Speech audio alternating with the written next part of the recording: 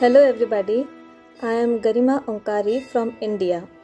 So today I am back with my new poem and the title of my poem is Girl with the Canvas.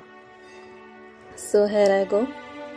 Shining bright beautiful face, brown locks adding grace, overwhelmed by her smile, exploring the depth of her eyes.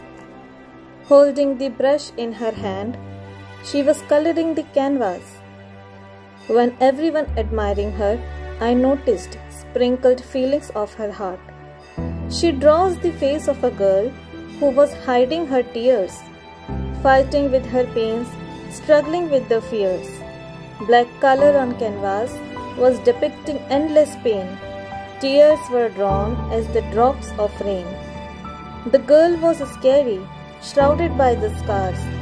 She was engulfed with endless, painful question marks. I looked at the pretty girl. She was staring on canvas as the mirror kept in front of her torn heart. She again softly smiled, a penetrated lot from her eyes. Draw canvas with happiness, but bears gloomy nights.